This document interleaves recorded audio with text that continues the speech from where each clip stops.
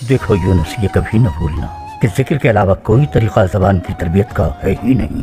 लोगों में बैठे हुए हो तो खफी यानी दिल में ज़िक्र, और जब तन्हाई में सर आ जाए तो जली यानी आवाज़ से ज़िक्र। लोगों के दरमियान ज़ुबान से नहीं, दिल में ज़िक्र। ये तो हक की राह के उसूल हैं। मरीदों का तरीका है, एक बार फिर याद दिला दूँ।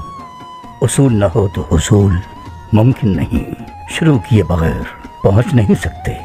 याद रखना, हमारा मकसद महजरा पर चलते चले जाना पतन नहीं है।